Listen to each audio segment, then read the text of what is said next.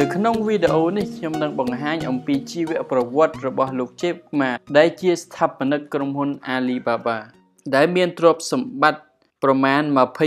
22.7000លានដុល្លារ Jack Ma កើតនៅថ្ងៃទី15ខែតុលាឆ្នាំ1964នៅក្នុងគ្រួសារក្រីក្រមួយនៅខេត្តហានជូវទីក្រុងសេជីន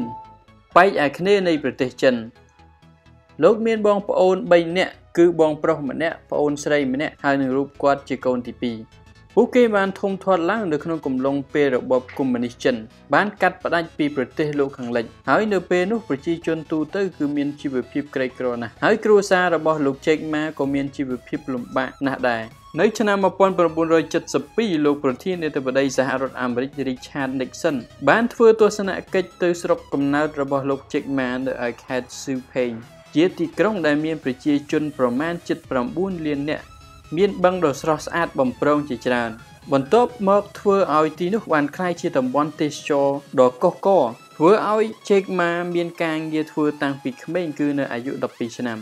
ជារៀងរាល់ព្រឹកគាត់បានក្រោកពីម៉ោង5ព្រឹកជិះកង់ពេលខ្លះដើរ ទៅកាន់សន្តាគារចាំភ្ញៀវទេសចរនៅមុខសន្តាគារដើម្បីធ្វើជាអ្នកនាំទេសចរដើរលេងតាមទីកន្លែងនានាក្នុងតំបន់នោះដោយពុំគិតថ្លៃរយៈពេលដល់ទៅ9ឆ្នាំដើម្បីអនុវត្តការនិយាយភាសាអង់គ្លេសរបស់លោកឲ្យបានខ្លាំងជេកម៉ាមិនមែនជាមនុស្សឆ្លាតក្នុងការរៀនភាសាអង់គ្លេសនោះទេគាត់ជាកូនសិស្សរៀនខ្សោយភាសាអង់គ្លេសនិងគណិតវិទ្យាគាត់បានដាក់ពាក្យប្រឡងដើម្បីឲ្យបានចូលរៀននៅមហាវិទ្យាល័យប៉ុន្តែគាត់ប្រឡងធ្លាក់ដល់ទៅ2លើក នៅលើកទី3ទើបបានប្រឡងជាប់គាត់សប្បាយរីករាយណាស់គាត់ចាប់យកជំនាញភាសាអង់គ្លេសនៅសាលា Hansu Teacher Institute ដែលបច្ចុប្បន្នហៅថាសាកលវិទ្យាល័យ Hanzhou Normal University ខណៈពេលនៅសិក្សាលោកជេកម៉ាត្រូវជ្រើសរើសជាប្រធាននិស្សិតនៃសាកលវិទ្យាល័យនោះហើយលោកជេកម៉ាបានបញ្ចប់ថ្នាក់បរិញ្ញាបត្រនៅលើឯកទេសភាសាអង់គ្លេសនៅក្នុងឆ្នាំ1988 ក្រោយមកលោកបានក្លាយជាសាស្ត្រាចារ្យលើមុខវិជ្ជាភាសាអង់គ្លេសនិងពាណិជ្ជកម្មអន្តរជាតិនៅសាកលវិទ្យាល័យ Hanzhou DC University ហើយបានទៅបន្តការសិក្សានៅទីក្រុងប៉េកាំងថែមទៀតគឺសាលាពាណិជ្ជកម្មចេងកុង Graduate School of Business ហើយត្រូវបានបញ្ចប់ការសិក្សានៅឆ្នាំ2006នេះមិនមែនជាប្រវត្តិនៃការតស៊ូធម្មតានោះទេពីមនុស្សម្នាក់ដែលរៀនខ្សោយបានប្រឡងចូលមហាវិទ្យាល័យ ហើយបានក្លាយជាសាស្ត្រាចារ្យបង្រៀនភាសាអង់គ្លេសដ៏ស្ទាត់ជំនាញម្នាក់ក្រោយពីបានធ្វើជាគ្រូបង្រៀនអស់រយៈពេល5ឆ្នាំទើបទទួលប្រាក់ខែ100យេនប្រហែល16ដុល្លារប៉ុណ្ណោះនេះជាប្រាក់ខែដែលទាបបំផុតនៃចំនួននោះលោកជេកម៉ាបានរៀបការជាមួយនាងចាងជីងហើយពួកគេមានកូន2នាក់លោកជេកម៉ាបានជួបភរិយារបស់លោកនៅក្នុងកំឡុងពេលលោករៀននៅឯសាកលវិទ្យាល័យ Hansu Normal University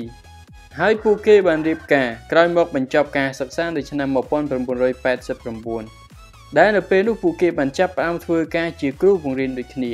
ក្រោយពីខិតខំប្រឹងប្រែងរៀនភាសាអង់គ្លេសរហូតដល់ចេះស្ទាត់ជំនាញហើយក្រោយមកបានក្លាយជាសាស្ត្រាចារ្យបង្រៀនភាសាអង់គ្លេស ជេកម៉ាបានស្គាល់មិត្តភ័ក្តិជាច្រើនដែលក្រោយមកមិត្តភ័ក្តិខ្លះបានក្លាយជាដៃគូរបស់គាត់ទន្ទឹមបានបង្រៀនជាគ្រូភាសាអង់គ្លេសជេកម៉ាក៏បានចូលរួមបង្កើតគេហទំព័រ Yellow Page នៅឆ្នាំ1995ហើយបន្ទាប់មករូបគាត់ក៏ត្រូវបានជ្រើសរើសតាំងជាប្រធានក្រុមហ៊ុនបច្ចេកវិទ្យាមួយដែលត្រូវបានបង្កើតឡើងដោយមជ្ឈមណ្ឌលពាណិជ្ជកម្មអេឡិចត្រូនិកនៃក្រសួងពាណិជ្ជកម្មអន្តរជាតិនិងកិច្ចសហប្រតិបត្តិការសេដ្ឋកិច្ចចិន ទើបបានជាលោកមានវាសនាទៅសហរដ្ឋអាមេរិកហើយបាននាំទៅជួបនឹងស្គាល់អ៊ីនធឺណិតនិងក្រោយពីត្រឡប់មកពីអាមេរិកវិញក៏នាំគ្នាបង្កើតជាក្រុមកសាងគេហទំព័រ Alibaba រហូតល្បីលន្ទឺទូទាំងពិភពលោកយើងពិចារណាមើលដែល Jack Ma អាចកែប្រែវាសនាពីក្រមកជាគ្រូរួចមកជាអ្នកគ្រប់គ្រងម្នាក់ ហើយនឹងមានសំណាងមកសហរដ្ឋអាមេរិកហើយបានជួបអ៊ីនធឺណិតនិងបានបង្កើត Alibaba គឺផ្ដើមចេញពីស្ពាននៃភាសាអង់គ្លេសការចេះភាសាអង់គ្លេសគឺជាការមានស្ពានតភ្ជាប់ខ្លួនទៅភាពជោគជ័យនៅឆ្នាំ1995លោក Jack Ma ចូលរួមបង្កើតគេហទំព័រចិនមួយឈ្មោះថា Chinese Yellow Page ដែលជាក្រុមហ៊ុនផ្សព្វផ្សាយពាណិជ្ជកម្មតាមអ៊ីនធឺណិតដំបូងនៅទីក្រុងប៉េកាំង ដោយសារតែលោកចេះភាសាអង់គ្លេសហើយលោកក៏ធ្លាប់ធ្វើជាសាស្ត្រាចារ្យលើមុខជំនាញភាសាអង់គ្លេសនិងពាណិជ្ជកម្មអន្តរជាតិពីមុនមកនៅឆ្នាំ1998 Jack Ma ត្រូវបានជ្រើសរើសជាអ្នកគ្រប់គ្រងក្រុមហ៊ុនបច្ចេកវិទ្យាអន្តរជាតិមួយដែលបង្កើតឡើងដោយមជ្ឈមណ្ឌលពាណិជ្ជកម្មអន្តរជាតិនៃក្រសួងពាណិជ្ជកម្មអន្តរជាតិនិងកិច្ចសហប្រតិបត្តិការប្រទេសចិននៅឆ្នាំ1995ដដែលលោកជេកម៉ាត្រូវបានធ្វើដំណើរទៅសហរដ្ឋអាមេរិក ក្នុងនាមជាអ្នកតំណាងចរចាកិច្ចការធុរកិច្ចដើម្បីសុំដើមទុនវិនិយោគបន្ថែមពីក្រុមហ៊ុនធំនៅសហរដ្ឋអាមេរិកគាត់បានខិតខំធ្វើការមិនខ្លាចនឿយហត់ដោយសង្ឃឹមថាការងារនៅក្នុងក្រុមហ៊ុននោះនឹងជួយជ្រោមជ្រែងគាត់ដល់គោលដៅប៉ុន្តែក្រោយពីទៅដល់សហរដ្ឋអាមេរិកមួយរយៈទើបចាប់ផ្ដើមមានអារម្មណ៍ថាខ្លួនឯងហាក់បីដូចជាស្ថិតនៅក្នុងមន្ទីរឃុំឃាំងការងារចាប់ផ្ដើមមានដំណើរការខុសប្រក្រតី ក្រុមហ៊ុនមានអាចកំបាំងនឹងគាត់អ្នកដែលមានអធិបុលនៅក្នុងក្រុមហ៊ុនហាក់បីដូចជាមានកលល្បិចអ្វីពីក្រោយខ្នងហើយនៅទីបំផុតគេក៏ហក់គាត់ឲ្យត្រឡប់មកទីក្រុងហានជើវិញគេបាននាំគាត់ទៅទម្លាក់ចោលនៅប្រលានយន្តហោះដោយមិនមានអ្វីជាប់នឹងខ្លួនតែគាត់មានលុយ600ដុល្លារក្នុងកូនកាបូបដែរគាត់ក៏បានប្រញាប់រុះរាន់ទៅទិញសម្បុត្រយន្តហោះទៅរកមិត្តភ័ក្តិនៅទីក្រុង CL ដែលនៅទីនោះហើយដែល Jack Ma បានជួបអ៊ីនធឺណិតជាលើកដំបូង ហើយបានទាក់ទាញអារម្មណ៍គាត់យ៉ាងខ្លាំងលោកមិនដែលបានដឹងថាវាដំណើរការយ៉ាងដូចម្ដេចគេហាក់ទំព័រ website ដំណើរការបែបណានោះទេហើយលោកក៏មិនដែលបានដឹងអំពីដំណើរការនៃការសរសេរកូដស្អីនោះឡើយប៉ុន្តែលោកមើលឃើញថាអ៊ីនធឺណិតនឹងមានការជឿនលឿននៅថ្ងៃអនាគតពេលនោះក្តីសម័យគឺចាប់ផ្ដើមផុសនៅក្នុងគំនិតរបស់គាត់គឺគាត់នឹងរកស៊ីនៅក្នុងវិស័យអ៊ីនធឺណិតឲ្យទាល់តែបាន លោកជេកម៉ាមានការភ្ញាក់ផ្អើលយ៉ាងខ្លាំងអំពីសក្តានុពលនិងភាពរីកចម្រើនរបស់អ៊ីនធឺណិតលោកបានគិតថាប្រជាជនអាមេរិកនិងអឺរ៉ុបបានប្រើប្រាស់សេវាអ៊ីនធឺណិតជាមធ្យោបាយផ្សព្វផ្សាយទំនិញរបស់ពួកគេយ៉ាងកកឹកក្រក្រែងនៅឡើយតែប្រជាជនចិននិងអាស៊ីដែលមិនទាន់បានស្គាល់និងប្រើប្រាស់អ៊ីនធឺណិតលោកជេកម៉ាបាននិយាយថាខ្ញុំបានស្នើឲ្យមិត្តភ័ក្តិបើកគេហទំព័រក្នុងអ៊ីនធឺណិតដើម្បីស្វែងរកស្រាបៀររបស់ប្រទេសចិនដោយវាយពាក្យថាបៀតែគ្មានលទ្ធផលសោះ ស្រាប់តែចេញស្រាបៀម៉ាកផ្សេងរបស់អាមេរិកអាល្លឺម៉ង់ឯនោះទៅវិញឆ្កុយពេលនេះទើបខ្ញុំគិតថាត្រូវប្រើប្រាស់អ៊ីនធឺណិតធ្វើជាមធ្យោបាយដើម្បីផ្សព្វផ្សាយនិងជំរុញផលិតផលរបស់ចិនឲ្យបរទេសបានស្គាល់លោកជេកម៉ាគិតថាអ៊ីនធឺណិតគឺជាមធ្យោបាយដ៏ល្អបំផុតដែលអាចប្រើប្រាស់នៅក្នុងការជំរុញពាណិជ្ជកម្មឲ្យកាន់តែជឿនលឿនគាត់បានតាំងចិត្តថានឹងធ្វើអាជីវកម្មលើវិស័យ e-commerce ឲ្យទាល់តែបាន នៅឆ្នាំ1999គាត់បានត្រឡប់ពីសហរដ្ឋអាមេរិកវិញគាត់បានបើកការប្រជុំមួយដើម្បីបង្ហាញគម្រោងអាជីវកម្មរបស់គាត់ទៅកាន់មិត្តភ័ក្តិក្នុងគោលបំណងគៀងគរពួកគេឲ្យមកសហការបង្កើតក្រុមប្រមូលធនធានមនុស្សនិងលុយកាក់ធ្វើជាដើមទុនបង្កើតអាជីវកម្មរបស់គេឡើងគាត់បានគៀងគរមិត្តភ័ក្តិ24នាក់ដែលមានអ្នកខ្លះចេះបច្ចេកវិទ្យាព័ត៌មានវិទ្យាឬហៅថា IT និងអ្នកខ្លះមិនចេះមកជុំគ្នាដើម្បីបង្ហាញគម្រោង ប៉ុន្តែក្នុងរយៈពេលជាង2ម៉ោងដែលគេបានជុំគ្នានោះឃើញថានៅក្នុងចំណោមមិត្តភ័ក្តិ24នាក់មានតែ23នាក់មានមិត្តភ័ក្តិ23នាក់បានបដិសេធមិនព្រមសហការជាមួយលោកទេដោយពួកគេបានលើកហេតុផលជាច្រើនរាប់មិនអស់អ្នកខ្លះថាលោកមិនបានចេះអ៊ីនធឺណិតស្អីផងមិនអាចធ្វើបានទេនាំតែខាតលុយឥតប្រយោជន៍និងខ្ជិះខ្ជាយពេលវេលាឥតបានការប៉ុណ្ណោះ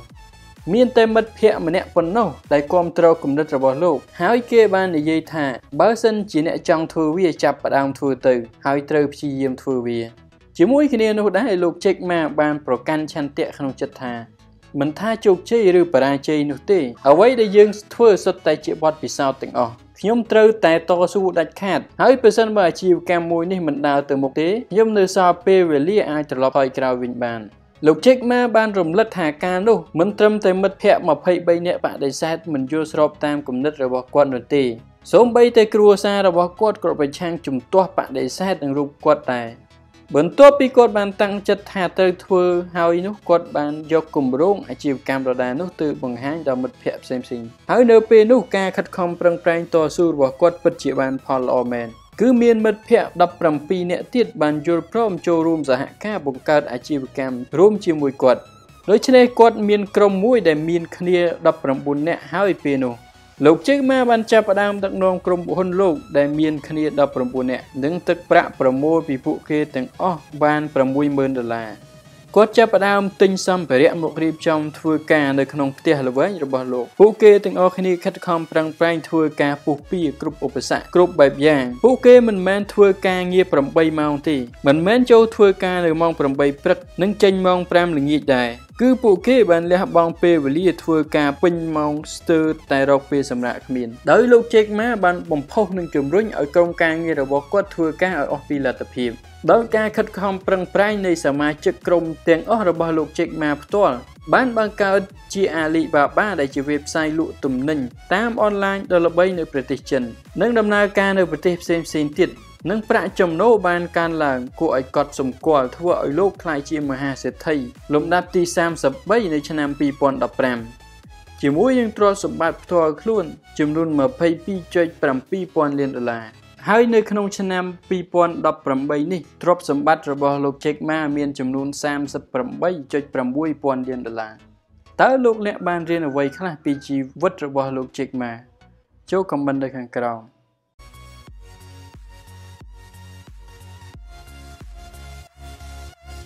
បើសិនបើចូលចិត្តវីដេអូនេះសូមជួយ like share ហើយនិង subscribe ដើម្បីទទួលបានវីដេអូល្អៗបន្ថែមទៀត